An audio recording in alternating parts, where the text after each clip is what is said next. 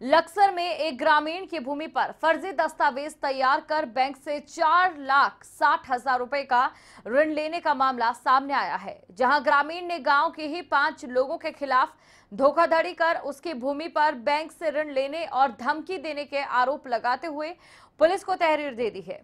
तो आपको बता दें, फर्जी दस्तावेज़ बनाकर रुपए लूटे गए हैं। और गाँव के ही लोगों पर आरोप लगाया गया है। किसान की ओर से लक्सर से खबर, जहाँ पर लूटपाट का मामला सामने आया है। पाँच लोगों के खिलाफ धोखेधड़ी का मामला दर्ज कर लिया गया है।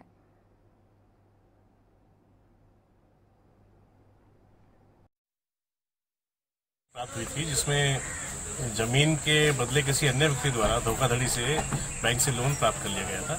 इसमें धोखाधड़ी का मुकदमा पंजीकृत कर लिया गया है। इसमें विवेचना की जा रही है। अब जो भी इसमें दोषी होगा, उसके खिलाफ और कार्रवाई की जाएगी।